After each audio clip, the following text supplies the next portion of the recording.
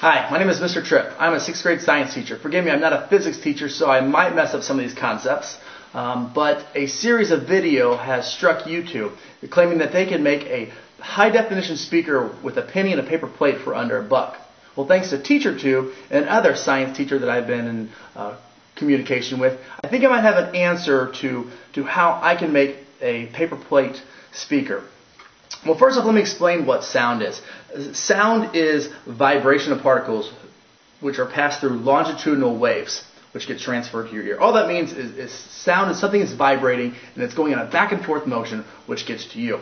Now, to understand a speaker, there are really only three basic parts to a speaker.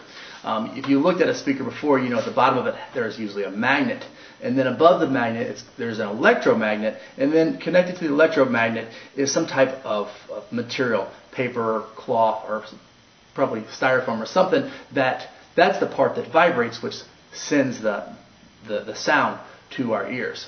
Now, um, you're probably wondering what an electromagnet is. You might have seen a science experiment in the past where they take a um, piece of a, a nail and some wire and, and, wrap the wire around it. Uh, about a hundred times I did. This is magnetic wire. It's not your typical wire. It's magnet wire um, that I got from Radio Shack. And you can see that right now there is no magnet, magnetic pull to this. But if I take this wire and, I, I've um, had to strip the, the ends, put this there, now you can see that I have an electromagnet. I can increase it by adding more batteries or I believe more coils, but, but it's a pretty strong magnet. If I take rid of the electricity, the magnet is stopped. Now what creates a speaker is an electromagnet and a permanent magnet. And when electricity goes into the electromagnet, it then creates this resistance with the permanent magnet, which then creates a vibration, which is connected to some type of device, which vibrates, which sends a signal out. To create the speaker, one thing that the high definition speaker on YouTube did not have is a magnet, a permanent magnet. I am using rare earth magnets. They're very small magnets. You can see the pennies right here, and, and the magnet is a lot smaller than the penny. So what I'm going to do is I'm going to take my rare earth magnet, and I'm going to tape them to the bottom of a piece of aluminum foil. Then I'll take the aluminum foil and wrap the paper plate up with aluminum foil with a magnet attached. Something else that I have discovered by, by trying this many, many times is that I needed a stronger stereo.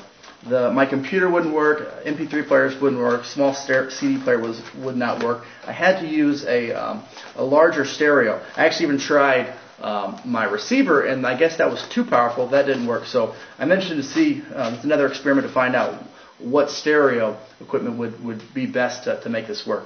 So now I have my, my magnet, my aluminum foil, my paper plate, and then I need, of course, my penny. And I'll put my penny uh, right over the magnet. But I, am using just a, a, regular stereo. You can see that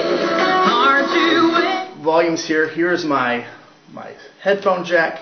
I'm going to plug this in. I spliced it like many of us did, wasting our headphones trying to get it to work. And now I'm going to take um, this wire, I'm going to make sure I put it right over where my magnet is, and then put the penny there. Take the penny to here. Let's turn up our volume and see what happens.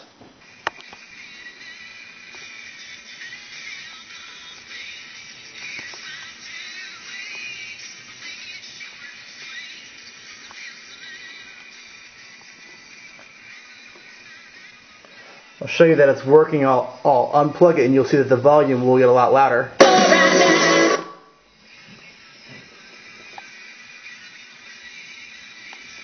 Now I've taken the electromagnet that I made earlier and connected it to my speaker wires into the stereo. And, and, you'll notice that the electromagnet plays probably the most important role in this, in this system.